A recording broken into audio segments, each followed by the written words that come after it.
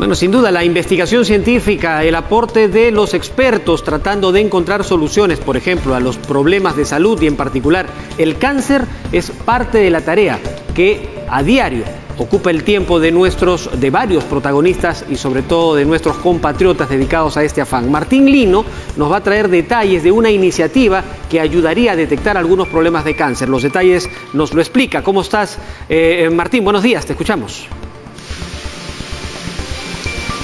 ¿Qué tal Julio? Muy buenos días. Eh, iniciativas importantes se vienen desarrollando en diferentes partes del país, pero hay unas como esta, eh, que mira, te voy a mostrar este dispositivo. Este es un dispositivo, es una cámara térmica que podemos encontrar en cualquier tienda de tecnología sin embargo, aquí, en, este lugar, le han, dado, le han encontrado un uso realmente importante, porque aquí estas imágenes térmicas son transformadas en algo útil para eh, la sociedad y en general para eh, el de la detección de cáncer, como tú mismo lo has, o otras enfermedades, como tú mismo lo has mencionado. Ese dispositivo lo conectan a un celular, a un dispositivo celular que cualquier persona tiene, y eh, emite una imagen térmica a, través de la cámara conectada y eh, lo que han hecho aquí en este laboratorio es crear un procesador de imágenes y un algoritmo para detección de estas.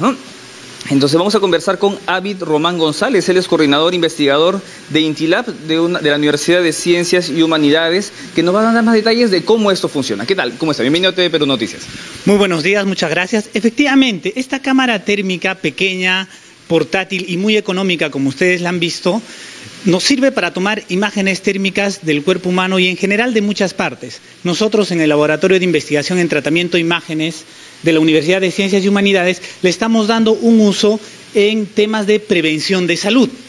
En este caso, nosotros sabemos que nuestro cuerpo es simétrico, ¿no? Entonces, si nosotros tomamos una imagen, por ejemplo, de ambas palmas de la mano, la temperatura en ambas palmas debería ser la misma. Pero ¿qué pasa si nosotros detectamos una diferencia de temperaturas entre una palma y la otra? Esa diferencia de temperatura nos podría indicar alguna anomalía. Y es así que nosotros trabajamos diferentes temas, como por ejemplo el caso de varices, pie diabético y posiblemente cáncer de mama. Vamos a ver algunas imágenes que ya hemos tomado en, ustedes ya han establecido unas eh, las pruebas eh, correspondientes y esta es una de eh, varices, no menciona. Efectivamente, acá nosotros podemos ver una imagen normal.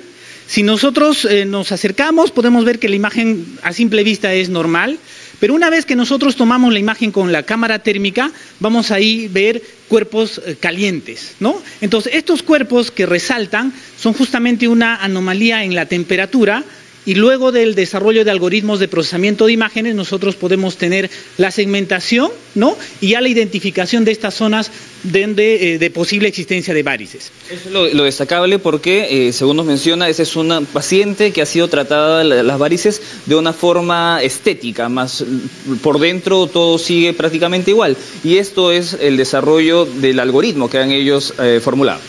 Efectivamente. Ahora, por ejemplo, vamos a pasar al caso de pie diabético. nuevamente vemos una imagen que a simple vista es normal, pero si nosotros tomamos la imagen térmica podemos ya observar una diferencia de calor en ambos pies. Entonces justamente esta diferencia de temperatura es la que nos va a indicar las anomalías en el pie diabético. El pie con la imagen más, digamos, saturada es el pie enfermo. Exactamente, es el pie enfermo, el, pie que presenta las anomalías. Y finalmente, pues vamos a mostrar lo que estamos trabajando ya más reciente, el tema de anomalías en las mamas, ¿no? Nosotros acá podemos ver una fotografía directamente térmica, ¿no? Ustedes entenderán. Eh, vemos ahí una mancha, en este caso un punto frío, ¿no? Que nos va a identificar la anomalía que se presenta. En una mama está más desarrollada y en la otra ya se ve ciertos indicios eh, de inicio de estas anomalías. Hay que resaltar que obviamente eso no, no descarta y bueno, no reemplaza procedimientos médicos, sin embargo es un indicador necesario y que digamos todos podemos eh, de alguna forma hacerlo desde casa, pero y que eh, aquí en este lugar vienen desarrollando, y más peruanos en todas partes vienen desarrollando de esta forma y haciéndolo, digamos que la, medicina llega a, la palma de nuestras manos, ¿no? Efectivamente, nosotros estamos trabajando el tema de la prevención porque lamentablemente en nuestro Perú la cultura de la prevención está muy caída. Los pacientes, las personas van al médico ya cuando la enfermedad está muy avanzada. Entonces necesitamos eh, generar más cultura de prevención y pues el uso de las cámaras térmicas nos ayudan con ese objetivo. Claro que sí.